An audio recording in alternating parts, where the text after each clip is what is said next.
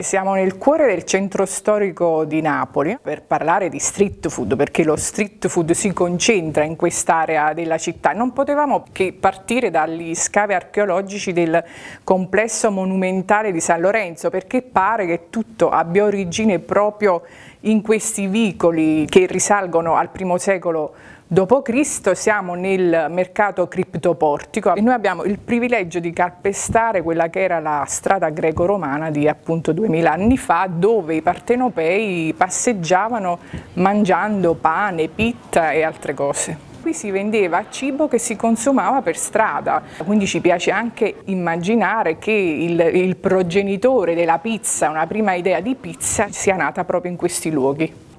Questa è la bottega del, del, fornaio, questa bottega ha almeno 2000 anni di storia, è una bottega di epoca romana, anche se eh, queste strade, queste botteghe sono state costruite su un impianto greco del V secolo a.C., perché come ben sappiamo Partenope è stata fondata dai greci e qui si parlava greco.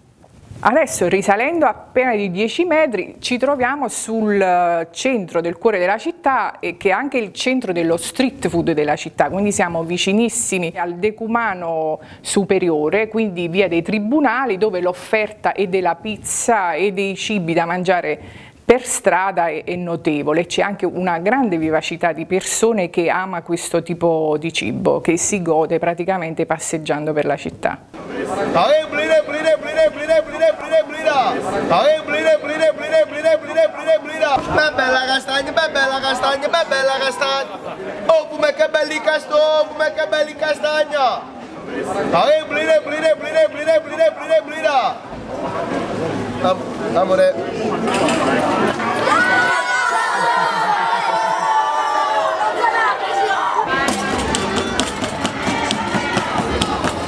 Me è importante mantenere il banco su strada perché è una cosa che facciamo di famiglia, di tradizione. E io mantengo le tradizioni. La pizza fritta di Maria Cacialli qui a Napoli è un'istituzione, qui a Via del Grand'Archivio pur avendo una bellissima pizzeria con una sala anche piuttosto grande, ha voluto mantenere la tradizione del banco su strada. Quindi già dalla mattina qui si servono pizze piegate a portafoglio e la pizza fritta della quale lei è maestra, è eccezionale, la sua ha mantenuto poi tra l'altro questo formato molto generoso che qui nel, nel cuore del centro storico di Napoli si usa farla ancora così grande. La pizza fritta tipica napoletana è ripiena di, di ricotta, cicoli, provola e pepe. In questa zona eh, la pizza fritta è stata sempre servita e fatta dalle donne sotto i grandi portoni dei palazzi storici. Adesso questo non è più possibile, quindi le donne, le famiglie storiche della zona si sono tutte organizzate con un banco su strada e anche poi ovviamente con le sale, con tavoli e sedie.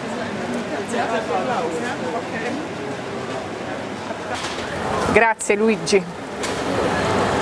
Allora, io mi sono scelto un coppo di mare, però Luigi ne fa di diverse tipologie. Il coppo è un format moderno di street food qui nel centro storico siamo in via Sabbiaggio dei Librai e proprio di fronte alla cappella del Monte di Pietà. Ha avuto talmente successo con il boom turistico di questa zona che viviamo felicemente da due anni che hanno aperto diversi punti vendita in giro per la città ma anche in altre città italiane. Giusto Luigi? Abbiamo due franchising, uno a Cosenza e il prossimo alla Mezzadella. Che dire, in questo cuoppo troviamo quello che noi a Napoli chiamiamo fravaglio, ovvero pesciolini freschissimi perché Napoli fortunatamente è una città di mare e quindi possiamo godere del pescato giornaliero che arriva da Mergellina, arriva da Pozzoli ma ancora tantissimo anche dal porto di Torre del Greco.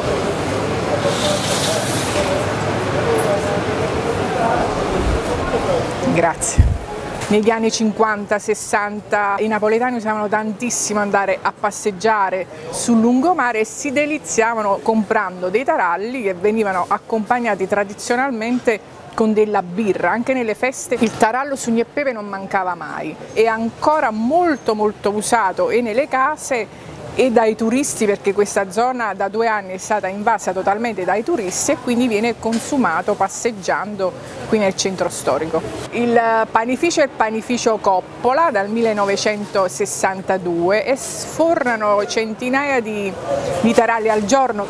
Allora prendiamo per prima cosa le mandorle, le lasciamo essiccare a una temperatura di 50-60 gradi per uh, un paio d'ore. Tutta l'umidità all'interno della mandorla viene espulsa. Aggiungiamo lo strutto la farina, il pepe. Allora consideriamo che su 10 kg di farina ci sono 2 kg, 2 kg e 2 di, uh, di strutto.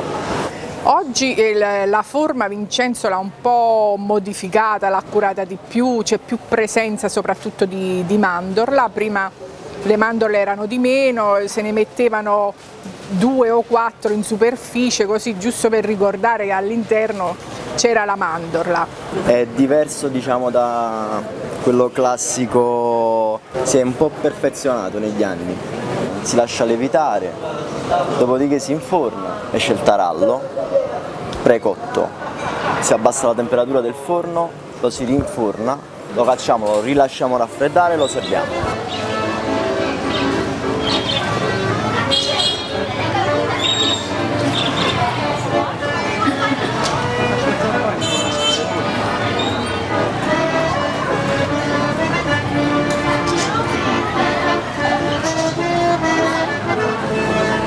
Decumano Maggiore, quindi via dei Tribunali, è la via degli, dello street food napoletano. Tra questi c'è anche il babà, perché Napoli non si è fatto mancare sicuramente il dolce. È fatto con una farina forte, sale, zucchero, lievito, burro e uova. E noi ci aggiungiamo anche sempre un po' di bacca di vaniglia. Ok. Vedi, così si vede la maglia glutine perché è talmente elastico Perciò abbiamo che quando facciamo il babà si dà il morso è come una spugna, ritorna indietro quando lo frizziamo. Molto semplice nella pasta che però viene levitata più volte. A tre levitazioni. Dopo la terza levitazione facciamo questo processo. Vedete, è molto elastico, è un, è un fattore di maglia glutine in pasta e si mette lo stampo è un dolce di origine polacca che poi i napoletani con il loro estro hanno reso così saporito imbevendolo nel rum. Si mette sotto sopra così automaticamente tutto l'eccesso del liquore scende giù.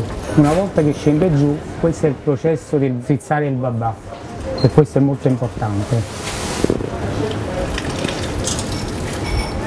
Quando si vede che il babà torna indietro per come stava prima si vede che l'importante è che la maglia glutine è ben elastica, altrimenti non farebbe questo ritorno.